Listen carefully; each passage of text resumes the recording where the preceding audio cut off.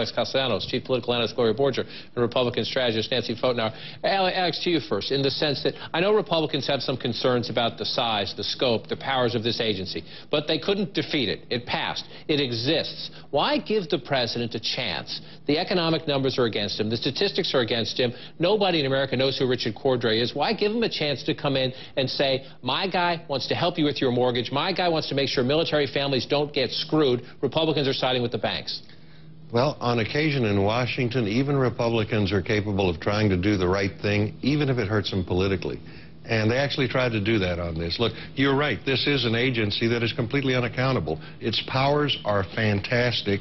The guy can't be fired once he's in the job. And you know who funds this thing? The Federal Reserve. They're unaccountable. So this is just layers of unaccountability. But they and, lost and the fight, Nancy. They lost the fight. This was the argument when they were debating Dodd-Frank, So the big law that this fighting. is included in. So we just we just keep so so uh, the signing a law into law means nothing. You just keep fighting. Is Well, that- I mean, I don't think this is T-ball for the guy in the bully pulpit because this is just another four-letter word to most Americans. And there was a lot of education that went on at the time this horrible piece of legislation Dodd-Frank went through. And Alex is exactly right. All the Republicans said, they said, we will put, we will put this in place, but you need to do something on accountability, make it five people, not one single unelected official and, and allow it to be have their appropriations go through Congress so there's some voter feedback mechanism. I agree with Alex completely on the fact that once this is funded by the Fed, you will never know what's going on. But they lost. Okay, okay. I thought I, th I thought the way I thought my civics. I'm trying to remember back to civics class. Uh, the bill becomes a law after both chambers of Congress pass it. The president signs it, and then the law of the land is you implement what it says. And it says you create this agency. And it used to be conservatives used to argue no matter who wins the presidential election, the president gets his pick. Uh, but my, my my argument is beyond that. All the economic statistics are hard for this president. So why give him a chance? It's the old Axelrod argument that is it a referendum or a choice? if it's a referendum on his record, he probably loses because of the numbers, fairly or unfairly, Gloria. But this allows him to go in and say, this is a choice. I'm fighting and, for and you. don't forget, this is the president who was criticized for bailing out Wall Street. Now he gets to be on the side of the consumers against big bad Wall Street. They're not looking at the niceties of the bill at this point. As John points out, it's already law, okay? You want to change the law, then there's an election coming up. But, But at you know this what this point, does, though? It's- Wait a minute, but at this You're point... you're double teamed. point, If- if you haven't he's noticed, you're double teamed.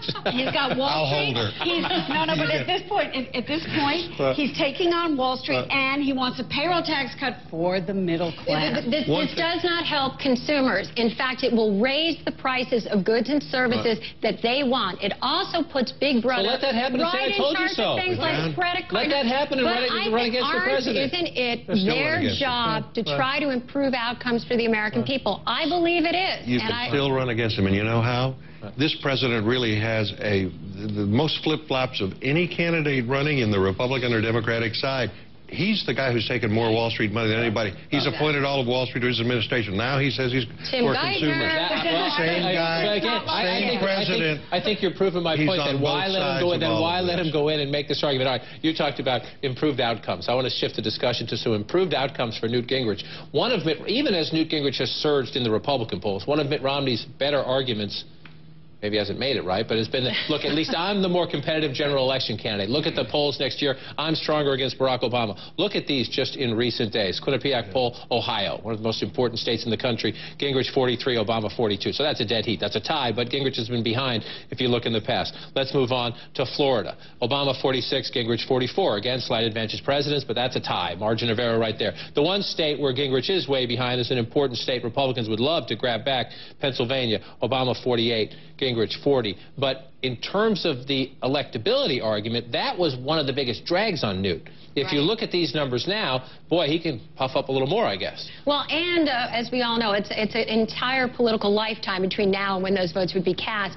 I would point out, though, and I think this is why you see that Republicans, and I do believe independents too, will come behind whoever the Republican nominee is, because they would rather have somebody who's right some of the time than the guy in the office who's been wrong all of the time. I'm- so that it- that, that would be. That would be a fascinating question. Would the independent voters who had a bad taste for everybody, including Newt Gingrich after impeachment, come back to Newt Gingrich, or is that long forgotten? Well, I, I think it depends on which Newt Gingrich shows up or continues to be to be here. I mean, because the Newt Gingrich that we've been seeing for the last couple of days, he's been attacked by people like Ron Paul, Mitt Romney surrogates. He's been very cool uh, under the attack. He's been smiling. He hasn't been expansive. He's stuck to a message. He's met with conservative. I mean, this isn't the But Newt he's Gingrich Newt. that I covered. what? But he's Newt. Well, that's the there's other this, side, right, There's of this, course. there's this scary political element in Washington that all Republicans are now scared of. It's Newtonium. and Republicans are afraid that if Newtonium is on the ballot.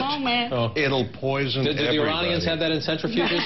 Well, anytime, anytime an election's been about Newt Gingrich, remember, this is the fellow that Right. Bill Clinton ran against Yes. uh, and built the Clinton presidency on this. So uh, I think Republicans, let- let's not count Newt Gingrich, anoint him just yet as the nominee. No. Now, No. it looks like he's got a very strong hand right now. All he's got to do is get through two weeks. Christmas Uh, freezes the race. uh, Next thing you know, he soars out of If- if Iowa he into New Hampshire. he gets- Well, his timing is right. But it's gonna be a long He's- spring of all, of all the anybody but Romney candidates, Newt